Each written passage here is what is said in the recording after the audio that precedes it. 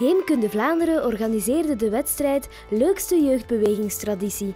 KSA Herdersum overtuigde de jury met Oksas, hun eigen Olympische Spelen, compleet met kogels, speren en medailles. Onze traditie is uh, Oksas en dat uh, staat voor Olympische KSA-spelen. Dat is een traditie die wel e alle eeuwen oud is niet, maar dat bestaat al, wij bestaan 50 jaar met onze KSA en ik denk dat het al van in het begin meegaat. In 1968 waren het Olympische Spelen in Mexico. En wij vonden die Olympische geest echt tof. Hè. Meedoen is belangrijker dan winnen. En wij hebben gezegd, we gaan de kinderen hier op de parochie ook een keer de kans geven van zich Olympisch te testen. Wij hebben zelf Olympische Spelen georganiseerd, speciaal voor onze jeugdbeweging en op, op maat van elke leeftijd. De bedoeling is dat ze meedoen aan vijf verschillende disciplines. En wie daarbij de meeste gouden medailles haalt, die uh, wint het Oxas Sjaaltje. We hebben dat jaarlijks aangehouden en wij noemden dat de Olympische KSA-spelen, de OXAS.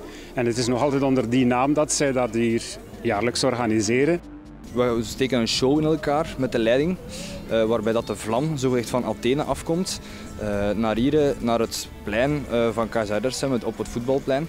En hier wordt dan de grote fakkel wordt dan aangestoken en dat is eigenlijk de start van de Olympische KSA-spelen.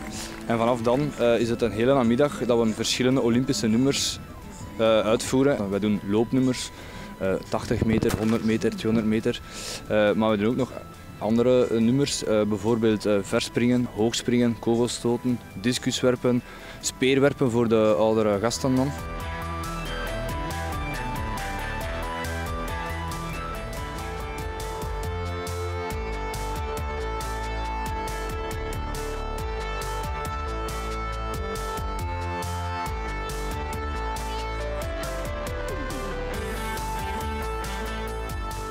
Op het laatste van de, van de dag, als alle activiteiten afgelopen zijn, uh, komen allemaal tezamen en wordt hier op dit podium waar ik nu op zit, uh, worden uh, de medailles uitgereikt.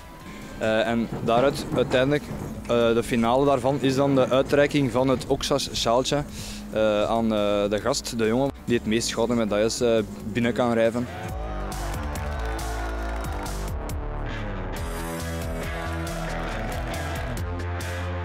Voelt uh, zeer goed, echt zeer goed. Ik ben zeer blij dat ik dit eindelijk eens gewonnen heb. En ja, dat is een eer om dat te mogen dragen.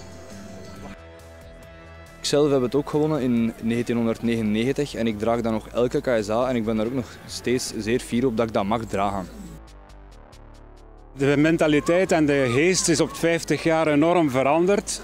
Maar wat, wat mij deugd doet, dat is dat de belangeloze inzet van die jongens. Iets doen omdat je mensen graag ziet, omdat je jonge, jonge mensen graag ziet en een zinvolle tijdsbesteding bezorgen.